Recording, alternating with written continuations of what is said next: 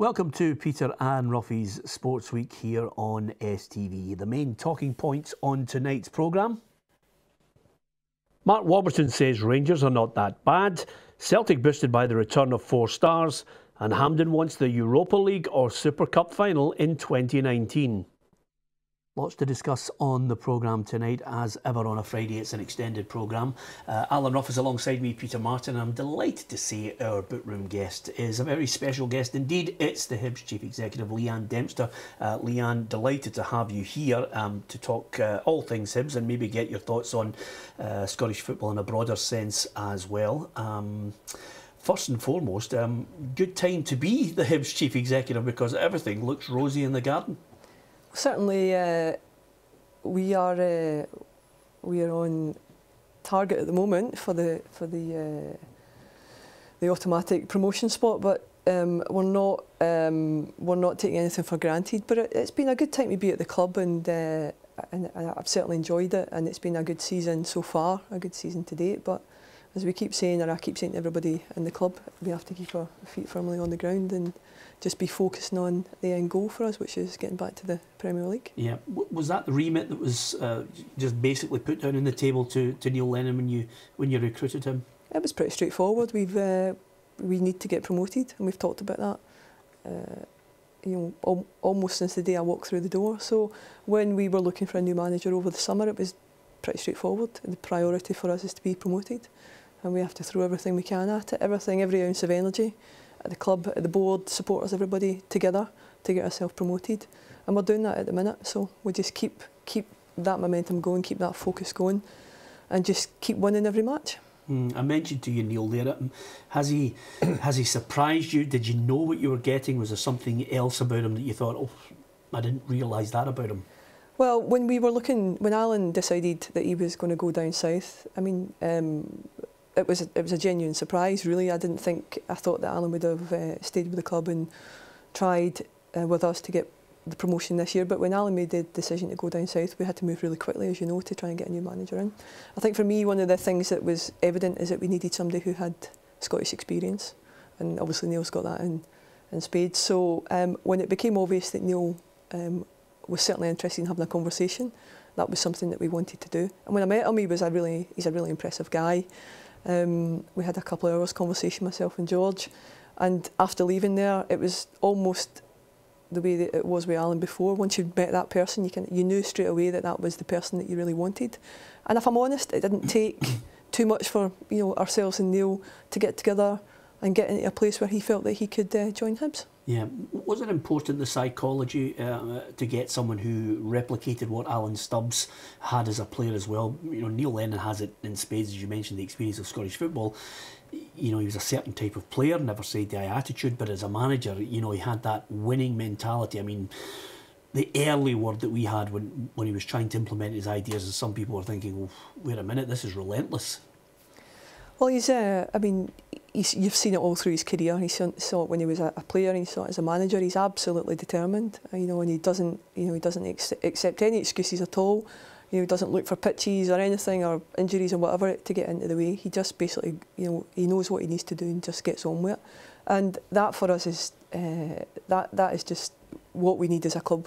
And he works well with us. Um, he understands the club, and I think he was impressed by the club when he came in. Obviously, he knew about us. He'd played against us. Uh, he'd been in Scotland for a long time. But when he came to the training centre, when he, then I think when he saw the, the, the kind of bigger club, if you like, I think he really realised at that point, uh, you know, the, the, the kind of size and depth of the club that he joined, and uh, and was you know even happier to be with us. So it's it's been a good good start for all of us, and we just hope that we can keep it going. Mm. I was going to say one of one of the pleasing things. Uh, I don't know if you've been surprised by it is the the attendance. You know, the, the supporters coming back and the numbers that they're coming back in. Uh, this the attendance actually even since relegation has been good, but certainly in the last this part of this season has been absolutely excellent. We're averaging something around fifteen and a half thousand at the minute, just north of fifteen and a half thousand. Unbelievable, absolutely unbelievable.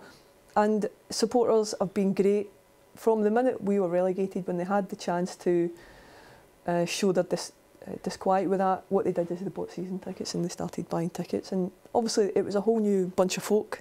I was new at the club, George, new management team. Um, you know there was a lot for I think supporters to kind of buy into, and I'm hoping that over the uh, the course of the time that we've been there, we've been able to demonstrate that you know that some of the ideas and the, the, the kind of directions that we're taking the club in are positive, and that we're trying to, you know, the old adage of build something for, for the future. But I would say um, the supporters have been immense since the minute that we came through the door, and this year, just you know, uh, coming the game tomorrow, you know, we'll you know, we'll have six, maybe 15 and a half, 16,000 in the stadium tomorrow. It'd be wonderful. Yeah, I mean, what has the Scottish Cup win done for the club, both off the field and on the field? I mean, let's not pretend we didn't get uh, sorry we didn't get promoted last season, so that was a massive disappointment. And to go from uh, not being promoted to straight into the Scottish Cup final, you know, within the course of you know less than a week was uh, was was was always going to be difficult for us. But the energy that the Scottish Cup has brought, just because of the nature of the time and the ribbon that supporters have got and the club has got over the, over those years, it hasn't stopped yet. And I, you know, I don't think people will look back in that year with real pride supporters will look back in that year with real pride at particular points.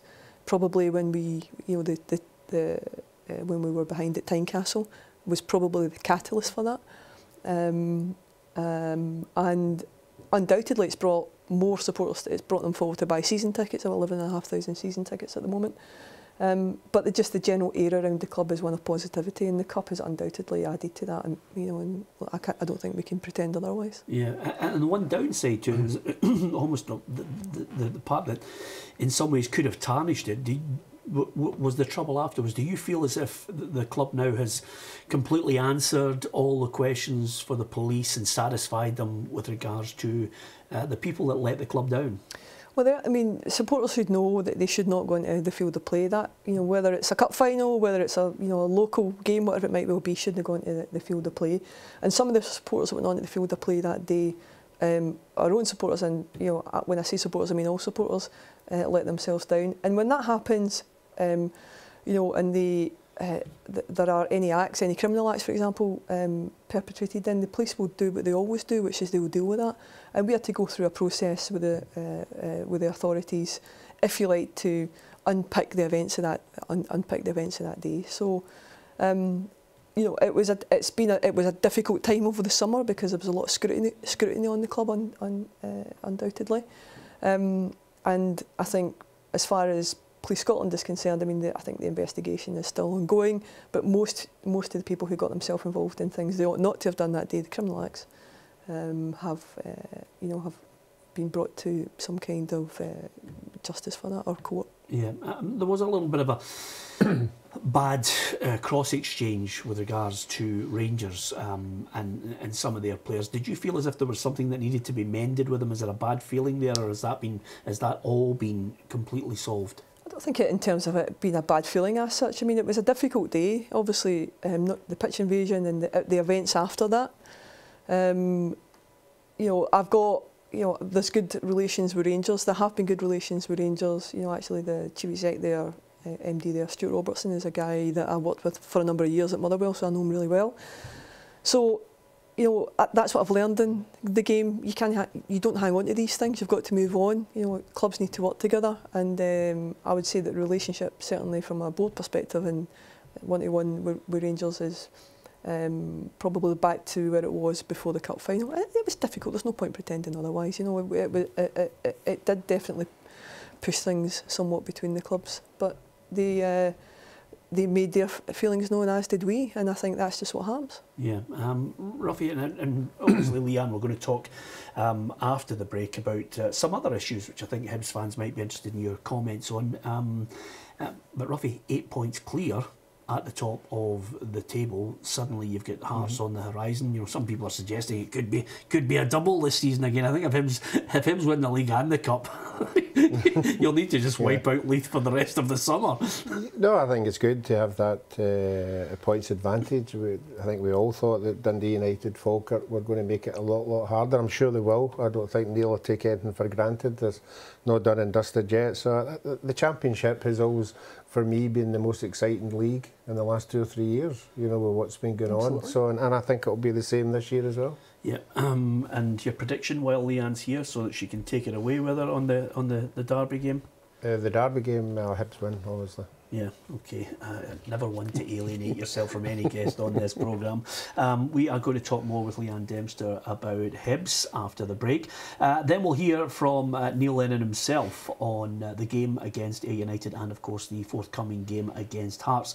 And we're also going to discuss Rangers. It's the hot topic at the moment after that 4 uh, 1 hammering from Hearts at Tynecastle. Uh, more than a few Rangers fans are unhappy with what's happening on the park and some disgruntled fans about what's happening off the park. We'll discuss Rangers and then look at the weekend fixtures as well. Leeann Dempster will be back with us after the break.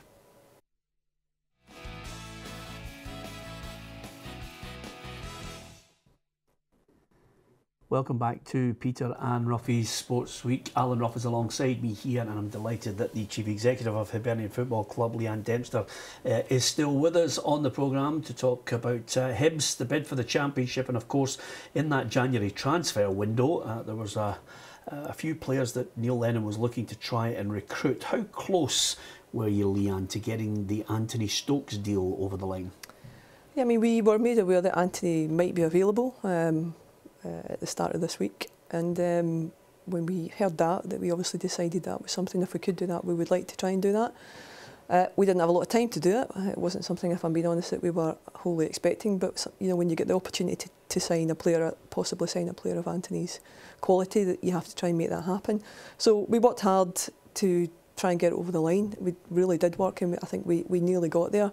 But we just uh, ran out of time at the end of the day. I think it came towards us too late.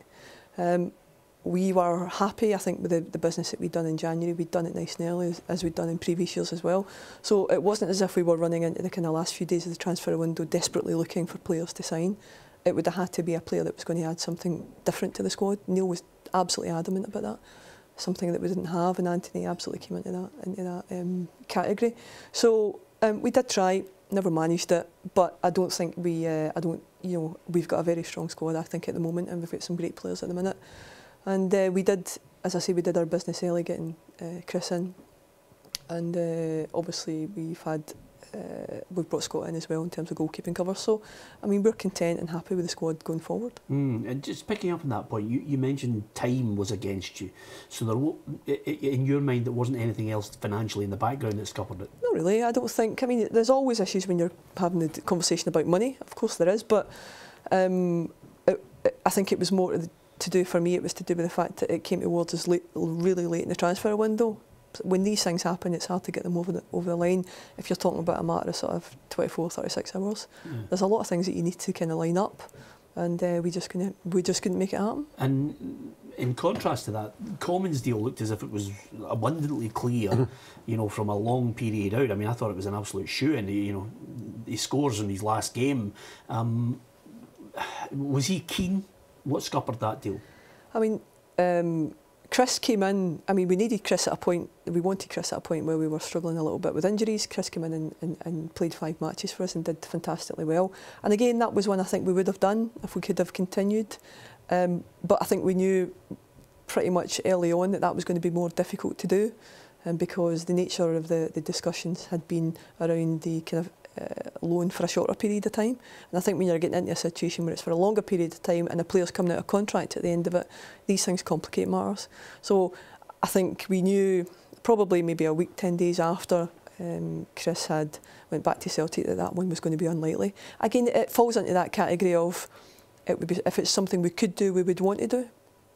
Um, uh, but that doesn't detract from the squad and the recruitment that we did through the through January. Yeah, um, I'm, going to talk about a couple of things before we obviously hear from Neil Lennon, then we'll uh, move on to other clubs, much to your relief. Uh, yeah. But uh, uh, as far as Hibs are concerned, I always, you know, when I was working as a reporter there, there was a period where Hearts were developing young players non-stop and they just seemed to have a conveyor belt. Then it went in cycles, you, you know, and Hibs just had a batch of players coming through that were just, you know, everybody was after them. And uh, do you feel as if the structure of the club is such now that there are young players there that that, that four or five year plan that you've got will come through? I do, and I mean that was part of the reason that myself and George and others were recruited to the club because it was obvious that you know some things at the club weren't working as well as, as they could, and they needed to be joined up. So, um, youth development uh, was absolutely one of those things. George Craig, who heads up football operations, brought in Eddie May, restructured everything that sits in the background, and actually. Um, we've got we've we've got a great batch of young players coming through at the minute. Many of whom have tied down in sort of much longer term deals now, and we're delighted to be able to do that. So you take an example of a we've got a young man called Ryan Porteous at the minute. He's on a development loan at Edinburgh City. He's a defender. He's playing every single week in the leagues, and uh, by all accounts, he's one of the first names uh, on the team sheet. So uh, he's getting the opportunity to play with us in the development league, and he's getting the opportunity to play for Edinburgh City. So he'll get the you know he'll get 50 games this season. Yeah. Um, the last question I'm going to ask you, which again is cup match coming up. Um, you've won the Scottish Cup, so that monkey's off the back. You're now in a situation where you've mentioned that league's the priority but those Hibs fans will be desperate for a for a for another crucial win against your great rivals in the in the Scottish Cup again. Well, it's I mean the the idea that we're playing Hearts at Tynecastle in the Scottish Cup it throws up every every image you, you, can imagine, and of course everybody in the city's looking forward to. it. Everybody's desperate to get a ticket and attend that day, and it's it'll be a great day. Hearts are a good side, we're a good side. There's always that edge to a derby match. It's the Scottish Cup as well. We're the holders. We're going to Tynecastle. It's going to be an interesting uh, an interesting uh, match. It's going to be tight, tough to call. Um, but I'll also say I think it's good for the city and it's good for the two clubs because I think in general terms you talk about two clubs that are on the up, albeit in different divisions at the minute, but we're talking about two clubs that are on the up. So that's a good thing for us, a good thing for Hearts, and hopefully a good thing for, for Edinburgh as well. Yeah, absolutely. It's coming up on the horizon. Of course, Neil Lennon mentioned the fact that you know players have to focus on the game against Ayr United because if they don't, they won't be playing against Hearts. Pretty simple. If they don't focus on this weekend, they won't play the following weekend because um, the priority is the league, and it's a huge opportunity for us to stretch our advantage before you know other teams play. So it's important we hammer home that advantage while we're ahead. I mean, we did all we could to you know get Anthony Stokes in on the final day, but uh, it wasn't to be. So um, no blame apportioned to anyone on our side of it anyway. So we wanted to bring another striker in if we could, but we couldn't in the end. Couldn't get the deal done. Um, but no, I'm pretty pretty happy. I mean, the squad seems to have sort of settled. You know, it'd be nice to get another body in, and maybe we will even after the window shuts now. But um, no, I'm pretty pleased with what I've got. Okay, um, so Ayr United to come, Ruffy. I think the priority for us is before Leeann leaves here is just work out the ticket allocation for ourselves. I mean, that's the priority rather than anyone else. I wouldn't like to hold a breath on it. Um, Leeann, stick with us before we go. We'll get uh, a question or two before we hit the break. Um, Ruffy, I've got to talk about Rangers because, quite simply, um, it's the hot topic. He's feeling the pressure. Uh, Mark Warburton clearly um, coming under closer scrutiny now after that defeat to Hearts. Yeah, and I think he realises now that he's going to come under that uh, bit of pressure when Rangers lose heavily. He said, I think one of his quotes where "We Rangers don't lose four goals," you know, and quite right, you know, and I think he has to do something about it. But as we've all discussed about it, you would have thought with the experience he's got, he'd have done something about it now because it's been there for everybody to see. The defence, particularly the two central boys, anything comes into the box, it's a, it's a panic station. And then he's got an experienced player sitting on the bench who he brought in there. So it remains to be seen whether he's given a chance at the weekend. Yeah, well, he came out fighting yesterday. I mean, obviously now I think he's realising the demands and the expectations of being the Rangers manager. I mean, um, if I could put it in perspective, uh, second place has always been the remit. It's hard to believe that some actual uh, journalists suggested Rangers would win the league. Mark Warburton's been um, defiant throughout that second place is the key for them, but suddenly now uh, people are looking at his record in away games as well, and uh, it was put to him yesterday. There is a problem with big games. I don't see it as a big problem. We went to Aberdeen, I felt dominated and should have won the game. You know, we've gone to all these various other Inverness, Partick, uh, Dundee, Motherwell, where we've gone to. We've won games of football very convincingly. The Parkhead game is well documented. Um, Hearts, we had two bad performances. It's as simple as that. And we then played the same teams at Ibrox and were very convincing in what we did. Well, you've got to dissect managers and what they say, Ruffy. I'm going to show you the graphic now. It's it's not necessarily getting wins away at certain other clubs, and I don't want to be disparaging towards the size of them. But the away games against the top four sides, if you have a look right now, uh, this is where uh, quite a lot of people are looking and saying, well, that's the championship. That was his away record against the top four sides. Then you move on to um, the Premiership and the top four sides there, and suddenly uh, that record is just not good enough for Rangers fans. No, and I think if he's honest enough, he would say as well they should have done better in their particular games. But as you said there, he has a target now. He's openly saying Europe is where Rangers want to be at the end, and as they are now, that there's every chance that they'll be there. Yeah, well, um, let me put this timeline to you, Ruffy, and you can tell me um, whether you agree with it or not. I think that the next few games coming up, Ross County, Morton, Dundee, Inverness, St Johnstone, got to win them. I, I, I, don't, I don't even think draws will be tolerated before they hit Celtic on March the 12th. And then you've got the Old Firm game, which brings its own pressures. And suddenly from that, if they don't finish second, I think a lot of Rangers fans will be one calling yeah. for the manager's head and then looking at Dave King yeah, well, they'll be looking at uh, firstly the, the Celtic game, which is always a massive game, and uh, they'll be looking at the difference in the points as well. But as I'm sure if Leeann uh, was honest enough, he, he would have sat down with the board at the beginning. and There'll be a target, and uh, if he meets the targets that were there at the beginning of the season, he'll be okay. I don't know what these targets are, but if he doesn't, then obviously questions have to be asked. Yeah, it's strange enough in this city, uh, Ruffy. You know the way it revolves. You know even if he gets second, I think a lot of people are now starting to look at the, the games against Celtic. Sometimes they can yeah. make or break you. Yeah, I mean, Leeann's touched on it as well. You know, it's it's the progress. You know, and in, in the quotes like you know, we're ahead of where we were. You know, and, and some people will be looking at the team and saying, well, I don't agree with anything you're saying there. Okay, you can give us your thoughts on that at Peter and Ruffy on Twitter. I'd like to thank Leeann Dempster for taking the time to come in here and talk Hibs. Hopefully, uh, you get a few questions answered. We wish them well for the rest of the season. We're back after the break.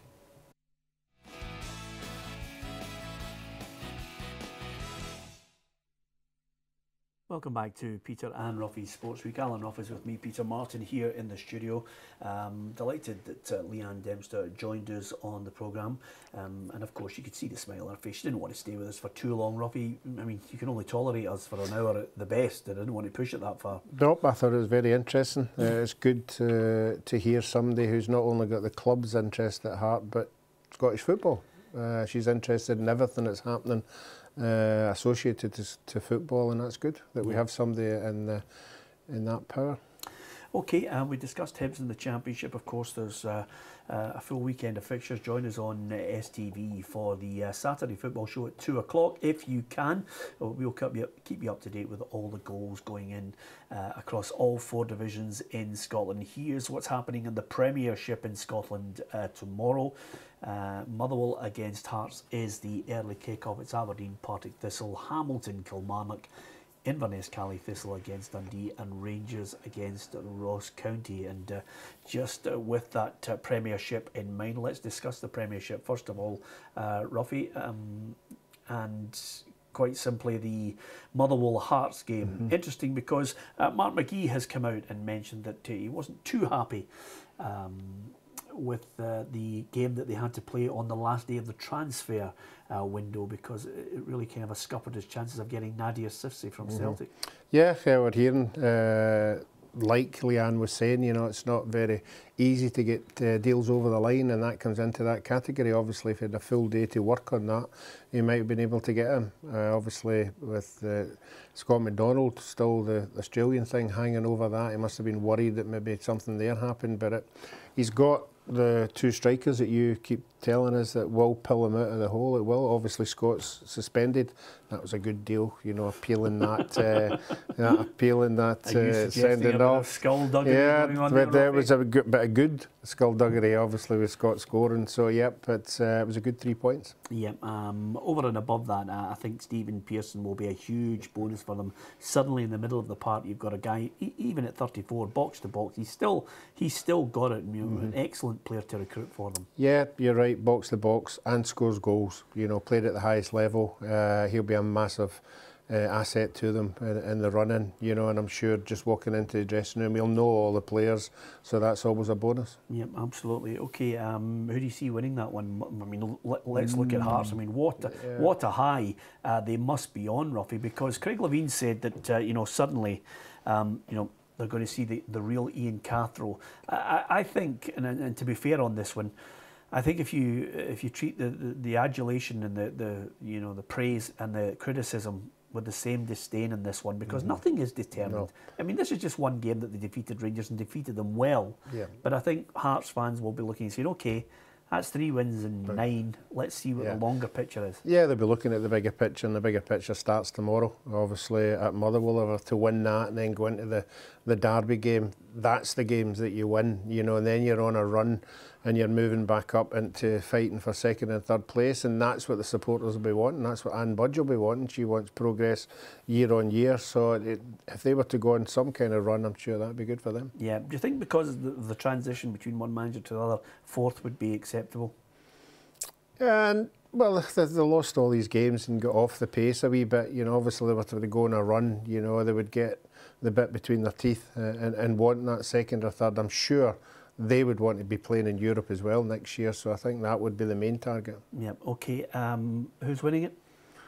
I'm going to go for Hearts. I think Hearts. I think if the, the Hearts players can't move on from that fantastic win they had in midweek, it's uh, a bit of a downer. Yeah, okay. Um, now, there's a number of games that uh, I want to get your thoughts on. Aberdeen against uh, Partick Thistle. Partick Thistle clean sheet again in, in, in midweek. Aberdeen, uh, Derek McInnes is keen to emphasise, uh, you, you know, the fact that his team have been on a, a, a good run, okay. Um, they lost to Celtic, but he was keen to highlight the positives, and, and I think he's the first to admit now it's the battle is on with Rangers, so this is a game that there can be no slip ups. No, there can't. It was a reasonable performance against Celtic, although they never threatened very much. Uh, but uh, at home, you know, and I think the big players are back again. You know, obviously Hayes is back and McGinn scoring goals. Rooney hasn't been scoring as regular, but uh, I think it'll be a hard one for Partick Thistle, and I'm glad that uh, you, you didn't allow St Johnstone that goal during the week there. But uh, unfortunately, they did score. Yeah. Never had a shot at, unfortunately. Okay. Um, don't worry about that. No. You're supposed to be impartial on yeah, this programme, exactly. I know, you're right. okay. Um, what about Inverness? Um, Richie Foran has got his work cut out. He says he doesn't fear the sack. Um, what do you make of it? Well, he must be having good meetings with the board. You know, he must have a, a really understanding with the board that uh, sometimes you don't get that kind of time. But he's a new guy coming in there. He's been there a long time. He's worked some kind of rapport with them, and uh, they'll be hoping that they can just get away from that relegation zone. And again, home advantage. That's the ones you have to win. And I think they're getting Dundee at the right time. Yeah, of course, the manager knows exactly what's at stake at Inverness. it's challenging times, that's for sure. There's no hiding that fact, but when you've got the calibre of player that we have, the quality, but now we need the leaders.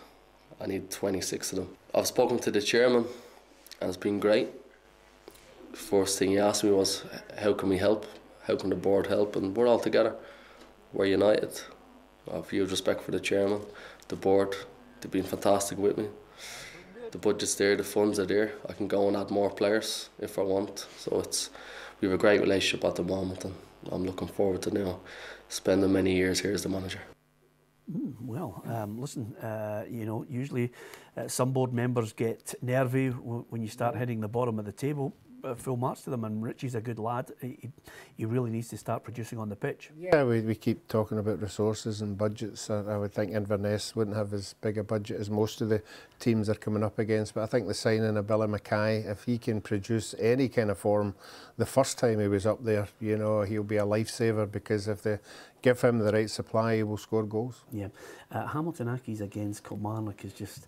Uh, this is uh, again. There's no point in saying it's massive because they're all uh, they're all massive. But the win for Accies in, in midweek, as Michael Devlin mentioned, is is crucial to them. It, it gives them the shot in the arm, and they've got to try and back that up. Even although you still uh, have them as the team going down. But, but these are the kind of games that I keep talking about that you've got to win. You know, and I'm talking about Kilmarnock as well. There's no point in picking up three points last week and then losing tomorrow. And I think both both teams, if if they can obviously win tomorrow, one of them wins tomorrow, they could go on a wee run and take them away from that relegation zone. So I, I, this is a hard one to call for me. Okay, um, St Johnstone against Celtic, of course, is on the Sunday.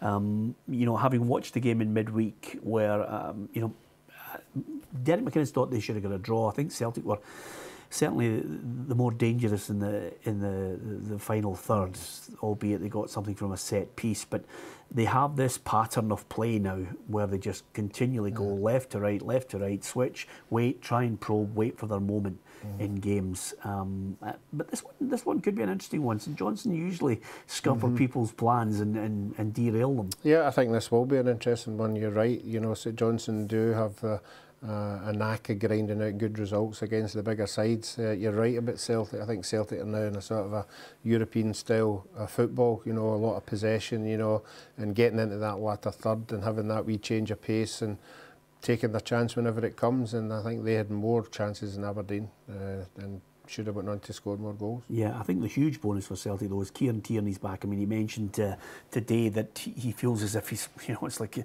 making mm his debut all over again, just back from injury.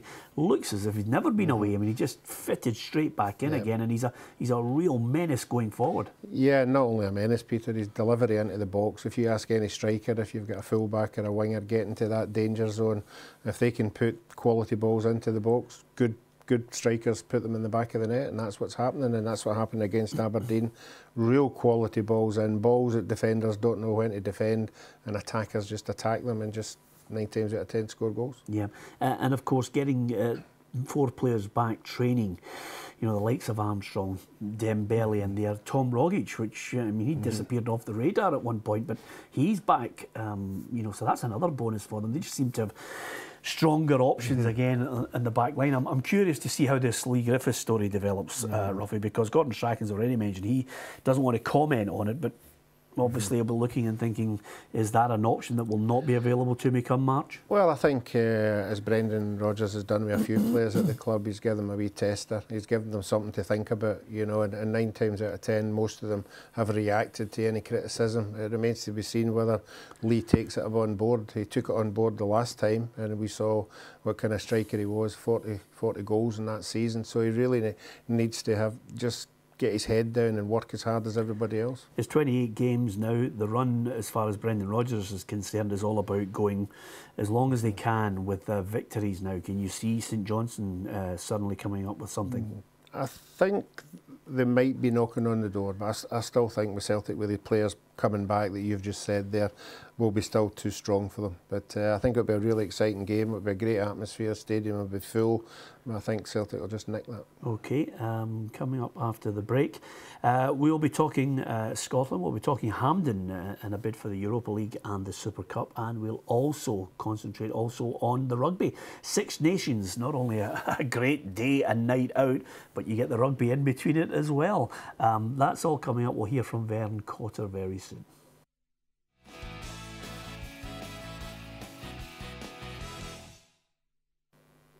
Welcome back to Peter and Ruffy's Sports Week. Alan Ruff is alongside me, Peter Martin. Uh, join us tomorrow if you can, 2 o'clock. Uh, Peter and Ruffy's Saturday football show will keep you up to date with all four divisions in Scotland and look at the uh, Premier League in England as well. Um, now, Championship, we talked about Hibs and their uh, pursuit of the title. They're eight points clear at the uh, top of the division. Here are the fixtures uh, to look forward to. Dumbarton, St Mirren, Falkirk, Dunfermline, Hibs United, Queen of the South Morton and Dundee United against Raith Rovers is the quarter past five kick-off. Um, Dumbarton St Mirren is the part of a, a double header in the league for St Mirren. Um, it's just that both games huge. Mm -hmm. I, mm-hmm. I mean, I think if Jack could come out of those games with maybe four points minimum to give himself yeah. a feeling that they can catch United. I'm talking about maybe a point against Dumbarton and three against Ayr United. Yeah, I'm sure he'll be looking for more than that. I'm sure he'll be looking for six out of six. But Dumbarton have proved uh, this season, although a wee bit inconsistent when they come up against the bigger sides, they roll their sleeves up and, and spoil the the game by winning when you expect the bigger team to win. But for me, that game is the most important one. There, there are other ones, obviously Falkirk Dunfermline, which will be has got a lot of history behind it. But uh, I think we'll all be keeping our eyes on that score at Dumbarton. Yeah, but the reason I mention that is because you would you would expect Hibs to defeat Ayr United, Ruffy, without preempting and again uh, dismissing what Ayr United have to offer. But you would expect Hibs to win that yeah. game. So suddenly, you know, the real incentive for St Mirren is to try and get if they got mm -hmm. three points from it,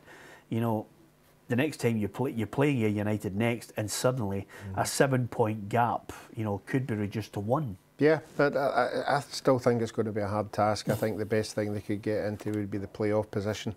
Uh, and I think that's probably that would be a target, and then after that, if they can get away for that, to even better. But I would think they'd have to uh, go on some kind of run. They're, they're, running out of games, and they're going to come up against the likes of the teams that are going to be going for the, the playoff places. The Falkirks, obviously Dundee United, So I think that these are the games they need to get three points. Yeah, I, I was talking to a few uh, journalists this morning, and we were, we were just contemplating, you know, a possible manager of the year if it wasn't going to be Brendan Rodgers, because I, I think the general consensus is going to win uh, any manager of the year was that are up there. But um, you know, then we, we started talking about it. I mentioned Tommy Wright yesterday. Of course, Jim Duffy, Yep. um, what he's achieved at Morton. If they, if they could get a win tomorrow, any more slip ups from Dundee United, and you're looking at Morton and thinking, Yeah. second? Yeah, well, I, I saw most of the game uh, last week against Ayr United. Uh, didn't understand most of it, you know, because it was it was on Alba. Yeah. But uh, I got the gist of what was happening in the game, uh, and I thought they were impressive. I, I thought the front two were good. They're, they're playing at a really good pace. Ayr United's defence wasn't particularly good uh, that night, but not taking anything away from them. The season that they've had, and there always is a manager for the the championship gets thrown up there. Obviously, Neil Neil Lennon has a good cup run and wins the league. His name will be thrown into the hat as well. But all credit to Jim Duffy, you know, with the resources that they've got down at uh, Morton. I think he's brought in players wisely, players with experience and young players. And uh, I think it'd be super for, for Morton if they could get into a playoff place. Yeah, okay. Um, let's have a look at League One. Uh, Ruffy, here are the fixtures on offer. Airdrie Peterhead, Alloa against Livingston, Brechin City taking on Stenhousemuir, Queen's Park East Fife, and Stranraer against Albion Rovers. Livingston uh, seem to be running away with it. The, they've got the experience there. They're, they're getting results. They're on a wee run just now, and I think they're the ones that uh, will win it quite easily. I think they'll run away with it, and it just remains to be seen who's in the playoff. Okay, and here are the fixtures for League Two tomorrow. And again, when the goals hit the back of the net, we'll keep you right up to date with Arbroath against Forfar, Berwick Rangers against Annan, Cowdenbeath, Elgin City, Edinburgh City, Clyde, and Stirling Albion against Montrose. Of course, uh, I don't think anybody's going to stop um, Forfar, but Arbroath maybe have a chance. Uh, tomorrow, Ruffy, of at least reducing the gap. It could be interesting suddenly if it was only five points now yeah, eight. yep, and I'm sure Dick uh, has got all the experience in the world of getting out of these divisions. Uh, I think if you ever bump there's a wee bit of needle here with this one. This No, I think there will be. Oh. I think, uh, obviously, I I don't think he left them in any uh, terrible circumstances. But you like when you go back to a club you've been at for a long time, it's always good to, to get a win. Okay, uh, that's how it looks in all four divisions of Scotland. Just a couple of things quickly. Um, Gordon Strachan mentioned that he, uh, you know, fully expects to pick Scott Brown for the game uh, against uh, Slovenia and then England in the summer. Um, so he, he hasn't had any word to say I'm retiring again. No, I think he's got to be positive in the whole situation. I would like to think there has been some dialogue between them now. I mean, Scott looks as if he's staying away for injury. Brendan Rodgers looks as if he's going to leave it to both him and Gordon Strachan, which is a good thing. So I- think we need everybody, particularly for the next game coming up. And then after that, we can look at the group stages and see where we are. Okay, um, and Hampden, Here's a thought for you. Quick one. Hampden uh, would like to host the Europa League uh, final in 2019 or the Super Cup final. Yeah, well, I, I was at the night when Zidane scored. Uh, I, Yeah. I thought the whole, the whole situation, everything that goes along with the security, everything. It was a spectacle for everybody. It was a super game to see. You know, stadium was bouncing. I, I would think we've had enough big games at Hampden to to attract a cup, a cup final at the Europa Cup. Yep, okay, uh, fingers crossed on that. Just out of curiosity, when they eventually get round to 2020 and renegotiating for a national stadium, um, Hampden in a short term deal could be the option.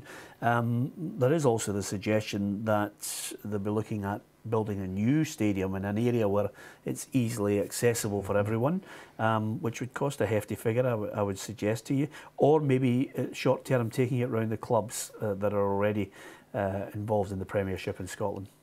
I would agree with short term. Uh, I think we have three or four really good stadiums that could give a, a good atmosphere to an international game. I think we should have a national stadium, not only for football as well, but for other sports. because if we travel about to other countries and we go into stadiums that are being built for certain occasions, that they're, they're excellent. They're, they're just great to be in. So why shouldn't we have one? Yep. Um, would you build another stadium? Not me personally, but I would I'd be for it. Yeah. Yeah, absolutely. it might Uh, take a few years. I was just about to say that I don't think the building trade would put up with you just showing a, a couple of minutes before they're ready to start work. Um, anyway, let's switch codes. Um, in fact, one other little thing I got your thoughts on. Here's the Premier League games. We will keep everyone up to date on Saturday in the Premier League. Um, Chelsea against Arsenal is a special one. Roughly half twelve kick off for that one. Um, Arsenal cannot lose. Um, I'm dismissing them for the title anyway, but that one's a must win. Yeah, I think so. Uh, I think it's going to be a great game. Uh, it'll be a super game. I think Chelsea have got all the big players to win big games, and I think they will tomorrow as well. Okay, to rugby. If you get a chance to go to uh, a rugby match, uh, especially an international in Edinburgh, it's special, never to be forgotten um, beforehand, during, after. It's just a fantastic day out, Ruffy. Yeah, it is. Uh, I, I always say it's different from the, the football games. I don't know why. I think uh, everybody goes along there. The pubs are all jam packed, even drink in the stadium, no trouble at all. And uh, I think everybody is expecting a, a, a big year this year for the Scottish team. Yeah, um, I think the general consensus is um, can anyone stop England? Ireland might have a shout at that um, as they meet in the, the, the last set of fixtures. But tomorrow it is, of course, uh, Murrayfield first of all, and Scotland against Ireland, and Vern Cotter mentioning the players are just a little tense ahead of this one. Exciting start, Ireland at home. Ireland have just recently beaten the All Blacks. So we get the chance to measure ourselves against them, and then we go to a different opposition the week after. But this one is, um, you know, I, I, I can feel a nervousness within the group. Being a little bit nervous means that you're, uh, you're probably sharper and a little bit more on edge, and I think you need to be in the game. You need to be wary of the opposition. If you're going comfortably, you're in a lot of trouble. Okay, if he's going to leave this job at the end of the Six Nations, uh, I think if he starts off with a win against Ireland, suddenly it posts the sign of intent from his side, and uh, wouldn't it be great to, to finish off on a high? Yeah, if you get into any big tournament, you want to win your first game, and you've been given the opportunity at home.